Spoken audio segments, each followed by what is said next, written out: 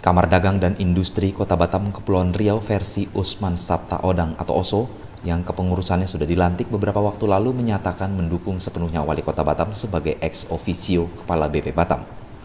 Sebagai mitra pemerintah, sejak dahulu Kadin harus mendukung semua keputusan dan kebijakan pusat dan daerah. Apalagi dalam hal Wali Kota sebagai ex officio Kepala BP Batam, Presiden tentunya sudah memiliki pakar hukum dan ekonomi guna memberikan masukan sebelum kebijakan tersebut diputuskan. Ketua Kadin Kota Batam versi OSO Syamsul Palo mengatakan, kebijakan wali kota sebagai ex officio Kepala BP Batam akan menjawab persoalan dualisme pemerintahan di Batam yang selama ini membuat sistem birokrasi menjadi stagnan.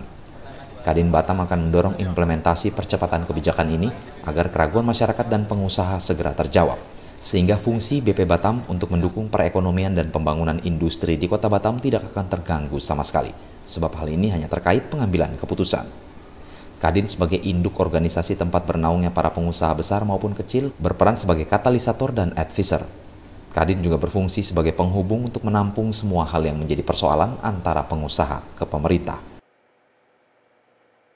Kadin Batam dalam waktu dekat itu sudah menjadi prioritas Kadin Batam untuk menjawab itu dan bagaimana itu bisa terlaksana. Kita berterima kasih kepada pemerintah pusat dalam hal ini adalah Presiden Republik Indonesia Pak Jokowi yang telah menetapkan kebijakan tentang es officio kepada wali kota untuk BP Batam.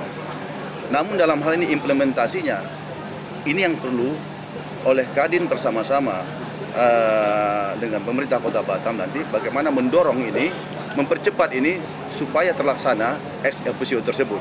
Karena apa? Keraguan daripada pengusaha selama ini ataupun masyarakat sudah terjawab sebenarnya tentang dualisme, tentang hal-hal lain yang menyangkut birokrasi stagnan itu tadi.